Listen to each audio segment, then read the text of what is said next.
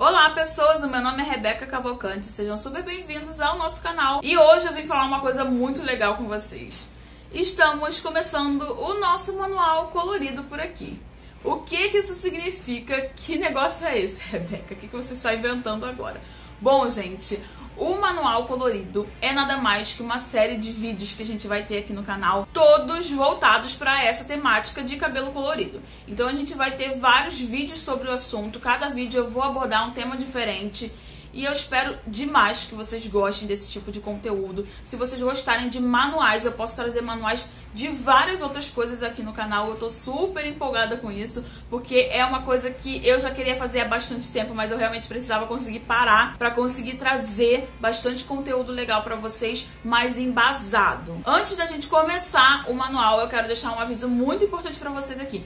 Eu não sou profissional especializada em colorimetria. Tudo que eu vou passar aqui para vocês são experiências minhas durante os 15 anos que eu faço coloração no meu cabelo. E por isso eu também quero ressaltar uma coisa muito importante. Não vou estar aqui ensinando vocês a fazer o cabelo colorido em casa. Eu sempre recomendo que vocês procurem profissionais porque química é uma coisa muito séria, principalmente se você quiser fazer uma descoloração tá? A descoloração, ela pode causar várias coisas super perigosas no cabelo, então ela pode causar queimadura, ela pode causar muitas coisas que podem afetar a sua saúde. Por isso que eu sempre recomendo vocês procurarem um profissional especializado para isso. E eu sempre falo aqui para vocês, sempre tive a ajuda da minha mãe, que é cabeleireira, né? Ela não atua mais na área, mas ela fez do curso, enfim, se especializou na área e eu sempre tive a ajuda dela, por isso que eu sempre fiz em casa. Dados os avisos, agora vamos lá começar o nosso manual. Tá, mas o que, que é um cabelo colorido? O que, que é um cabelo com cor fantasia? A gente chama de cor fantasia e cabelo colorido esses cabelos que são extremamente vibrantes, de cores muito diferentes, como é o caso do meu cabelo e como é o caso de outros cabelos que têm cores como vermelho, laranja, amarelo, aquele amarelo bem vibrante, tá? Não tô falando de louro. É, azul, verde, rosa, o roxo, enfim. Todos esses cabelos que têm essas cores diferentonas, né? Que são as cores mais vibrantes. Não são cores mais comuns, né? Tons naturais que a gente chama, como por exemplo o louro, o castanho, o ruivo e o preto. E aí você é novato, você se empolgou e você quer ter um cabelo colorido, você caiu aqui nesse vídeo. Como é que você vai fazer para ter esse cabelo? Para começar, além da recomendação que eu dei no início do vídeo, né, de você procurar um profissional, a ideia do cabelo colorido é o seguinte: você vai precisar de uma base de cabelo, mais ou menos do tom entre 9 e 11, que são tons bem claros, tá? Louros claros, para você conseguir ter a cor que você quer. A cor que você quer vai depender muito dessa base. Então, assim, dependendo da cor que você queira, você pode ter até um tom 9, ela vai pegar bem. Ou se você quiser um, uma cor muito específica, às vezes você precisa de uma base mais clara. E aí, para você tingir o seu cabelo com esses tons de fantasia, você vai precisar de uma coloração que a gente chama de coloração temporária, que na verdade é a tinta fantasia tonalizante, né? Também a gente chama o tonalizante colorido, ou também como a gente pode chamar de máscara pigmentante. Existem algumas tintas que vocês vão conseguir algumas nuances mais vibrantes, como vermelho. Existem até algumas tintas hoje em dia profissionais que você consegue essas nuances coloridas. E aí, como é que a tinta fantasia, tonalizante colorido, enfim, como a coloração que é temporária, ela vai funcionar? Ela vai apenas pigmentar superficialmente o seu cabelo.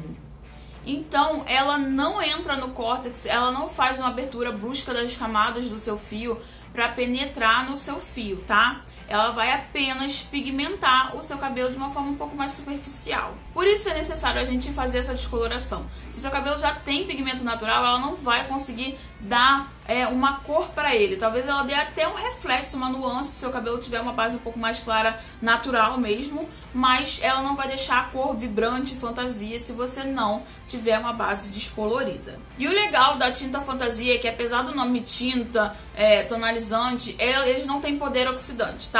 A tinta fantasia, na verdade, ela age como uma máscara mesmo, né, pigmentante, uma máscara que contém pigmento, né? Por isso ela não danifica o cabelo. O que vai danificar o seu cabelo é sim o processo de descoloração.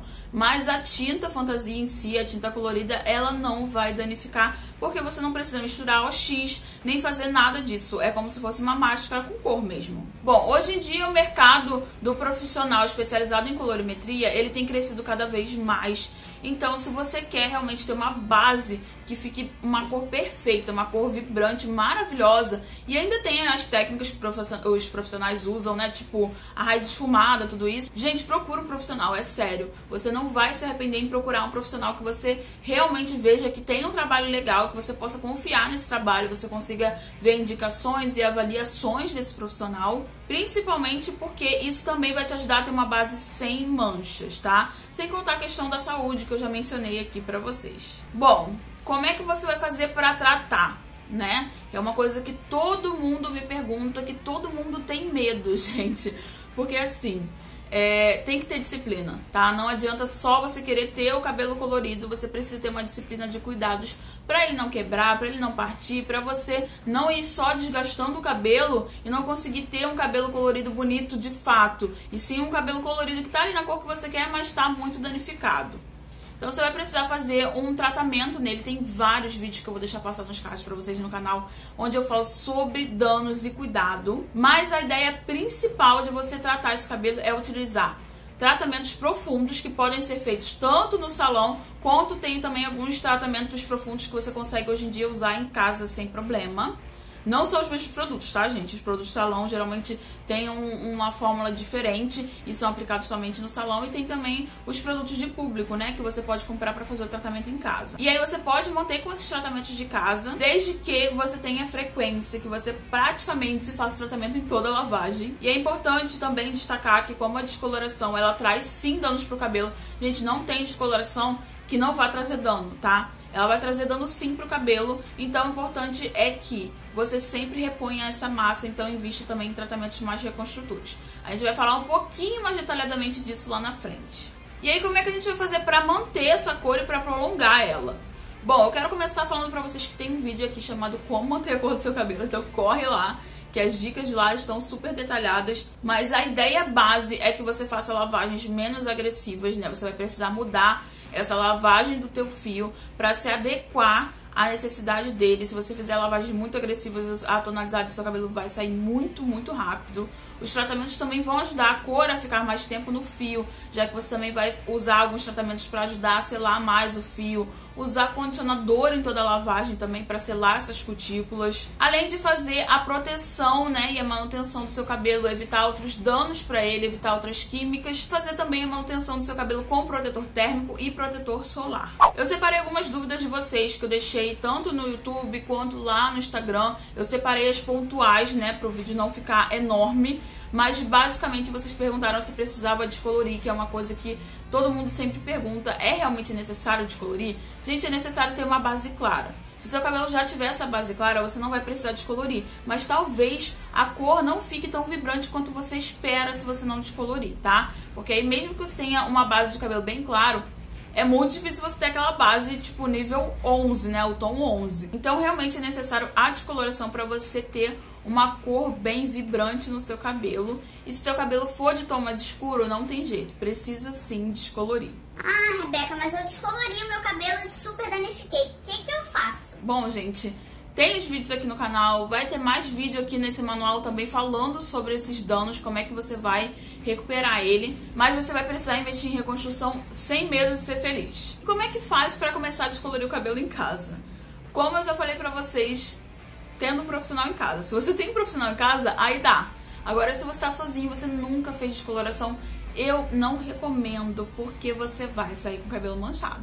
Você precisa ser muito rápido para passar o descolorante. Você precisa ser muito safo já no assunto para conseguir fazer tudo isso. E Rebeca, como é que você faz para manter o cabelo super brilhoso? Gente, eu tô sempre mantendo ele pigmentado, então eu faço retoque, pelo menos todo tonalizante. Nem sempre eu faço a raiz, tá? Como vocês podem ver, temos uma raizinha aqui. Mas eu sempre faço retoque do tonalizante, já que não danifica o cabelo, não tem problema. Sem contar que eu tô sempre tratando, então eu tô sempre também controlando a porosidade dele, deixando as cutículas bem seladinhas. Rebeca, e agora que eu mostrei o cabelo, como é que eu vou resolver isso? Salão, profissional. Principalmente no caso de mancha, não tem pra onde você correr, você vai precisar da ajuda profissional para arrumar o cagaço aí que você fez. E para você evitar esse cagaço, vá no profissional. Gente, eu brinco aqui falando isso e tudo mais, mas é muito sério porque eu acho que eu tenho um compromisso muito grande em passar algumas questões para vocês, tá? E como eu falei para vocês, eu não sou profissional de colorimetria, mas os vídeos que eu trago, as informações que eu trago são todas baseadas no meu tempo de experiência com o meu cabelo. Porque é muito diferente eu chegar para vocês e falar assim, gente, eu faço há 15 anos, então faz assim, assim, assado que vai dar certo, e vocês fazerem vocês conseguirem realizar o que eu falei, porque não é um processo simples e envolve saúde. Bom, gente, e esse foi o vídeo de hoje. Foi o nosso primeiro capítulo, aí, nosso primeiro episódio do Manual de Colorido, que é a gente explicando mais ou menos uma, uma base de cabelo colorido para iniciantes. Então fica ligadinho aí que já vai ter mais vídeo falando um pouquinho mais sobre esses processos e a gente vai se aprofundando cada vez mais no assunto. Eu espero que vocês tenham gostado. Deixa aí nos comentários se você já é colorido ou se você em algum indício, alguma ideia de querer começar nesse mundo aí. E é isso, a gente se vê no próximo vídeo. Tchau, tchau!